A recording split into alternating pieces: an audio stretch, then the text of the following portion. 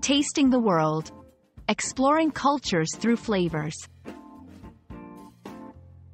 Hello, everyone. Welcome to our channel. Today, we're going to dive into an exciting and flavorful topic. Tasting the World. This phrase isn't just about food. It's a journey through different cultures and experiences. Whether you're a language learner or a cultural enthusiast, understanding this phrase will add a new dimension to your English skills.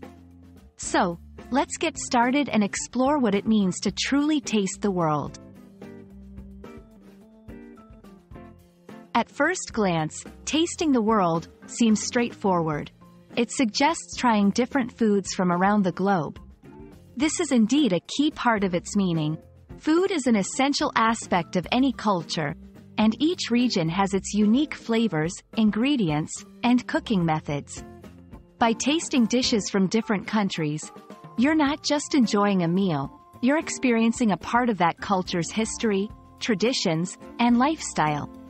It's a sensory journey that can take you from the spicy streets of India to the sophisticated cafes of Paris without leaving your kitchen. However, tasting the world goes beyond just food. Metaphorically, it represents the idea of experiencing different cultures in all their forms. This could mean learning about traditional dances, listening to regional music, speaking the local language, or understanding historical contexts. Just like a dish is more than its ingredients, a culture is more than just its food. It's about the stories, the people, and the everyday experiences that make each place unique. When you taste the world in this broader sense, you enrich your understanding and appreciation of global diversity.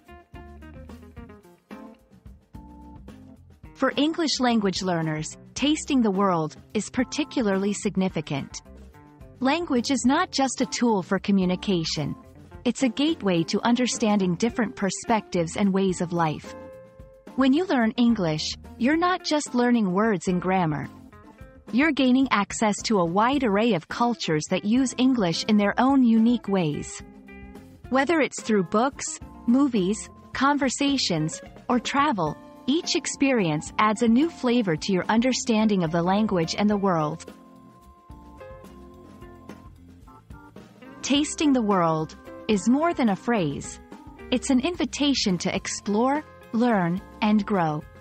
As we've seen, it encompasses both the literal enjoyment of global cuisines and the metaphorical experience of immersing oneself in different cultures. For English learners, this journey is not only about mastering a language but also about opening doors to a rich tapestry of global experiences. Thank you for joining us today. We hope this video has given you a taste of what the world has to offer and we look forward to seeing you on your next linguistic and cultural adventure.